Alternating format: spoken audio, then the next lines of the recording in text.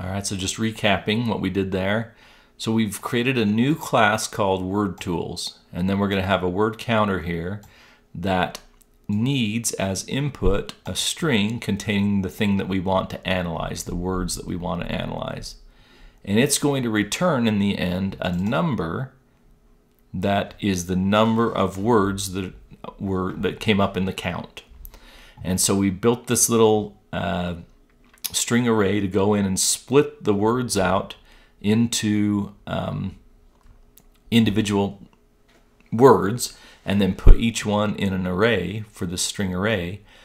And then um, once we had that, then we took and uh, used the length property of that string array to tell us how many words it came up with.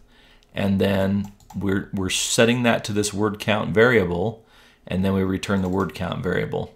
And what I said there at the end is typically um, I would consider it, and many would consider it, uh, bad programming practice to return uh, something that's being calculated or something that's being done. We want the returns to be really simple.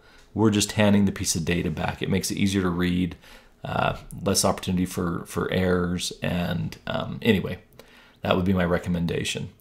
And so this is going to give us a count of the words. Now let's get in and test this out by creating uh, in so in the program.cs now if I try and so I have this quote that the users entered and if I try to instead of writing out the WriteLine I say something like number of words and then to that I can then call that method that I've created um, called word counter and so I can call word counter whoops let me close my string here I can call that word counter method that I've just created and I can pass to it the quote that was entered.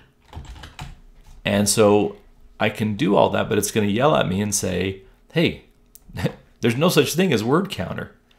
And sure enough, in the context of what it can see, which is just between the opening brace and closing brace of this program, which you can't see because they're hidden, um, but part of that private void main string args line, word counter does not exist in this context. The scope of it is only within this program.cs file.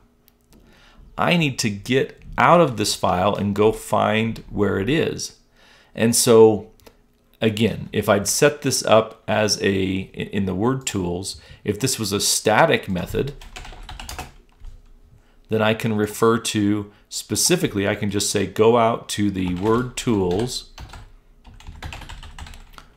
sorry, word tools dot word counter, and if I save this, I'm going to save word tools.cs, then it will recognize, um, maybe, let's save this one.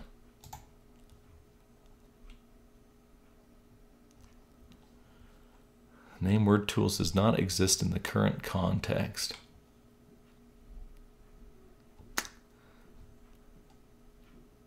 See, I shouldn't have done this because now I got to try and figure it out. um, oh, we want the using OOP fun keyword here.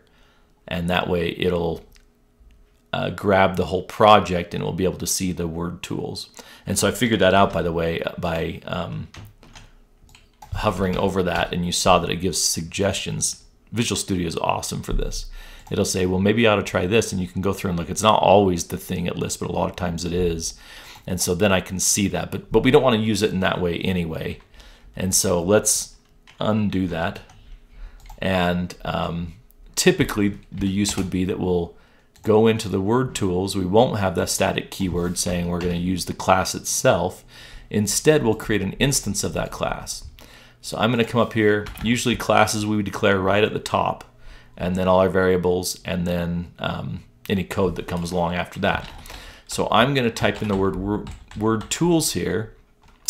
That is, and it automatically went in and used that, put in that using for us when I did that. Again, Visual Studio is awesome, just helps us out. And I need to create an instance of that. And usually when we're uh, looking at these, we know what it is. So I, I don't mind using a, a name like WT here because that's fine. It, it's just going to be used for a second. We know what it is, but that is going to be set to a new instance of Word Tools. And now here we can refer to our instance we just went and got off the shelf. And we can say wt.wordCounter, which is an instance of the word tools. Now, again, this is something that's can confuse people. And hopefully it doesn't confuse us. But the idea here is that word tools is the template. It's the it's the it's setting up the structure for how this class is going to look and how it's going to work. It sets up the properties and the methods that are part of this uh, object. But then I just go and create an instance of the object, which is basically like saying, yes, you know, get me one of those. So like I can go, um, and I've done this before, order a car. So I'm going to buy a car, but I, there's not one on the lot that has the things that I want, and I want my own special configuration. And so I go and put in an order for a car. All right, so that's essentially what we're doing here is we're saying go take the template of the cars that you build, and I want an instance that I haven't really done this, but my brother uh, is big on naming his car, so he's got one now called Tess, and he's had it for like some crazy long amount of time, at least 20 years. Um, Tess. Um, this is the name we're giving the car. And so in that case, it's a Toyota Corolla. And so the instance is a Corolla and he names it Tess. And then that's his instance. It's his car. And there's lots of cars like it out on the road. But Tess is his instance. There's none other out on the road that is Tess. All right, so same idea here. We're building an instance of a class. We're calling it WT. This is the reservation part. This is what's setting up a spot in memory to hold this information, the size of a Word Tools class. And then this second part is the part where we instantiate the class. And again, we can do this separately. We could end this statement here and we could say WT is equal to new Word Tools. We could take this line and we could do it down at the bottom of the program. I don't know why would we want to do that.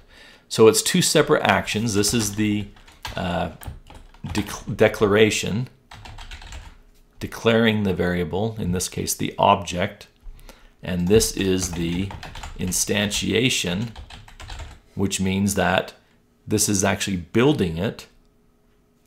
And we can either do those as two separate processes. For example, what if we need to get some input from the user before we instantiate this because we're going to go pass in the quote this way as part of the constructor.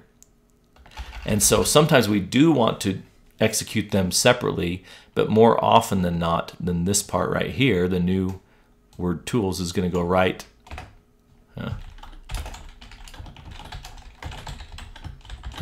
is going to go right there, and then it's all done in one motion. We declare the variable and we instantiate it. All right, so now that we have that test uh, set up, we can actually try using that method to see if what we did worked. And it's really good practice to constantly test your code as you go instead of doing big chunks of code and then getting a bunch of errors along the way.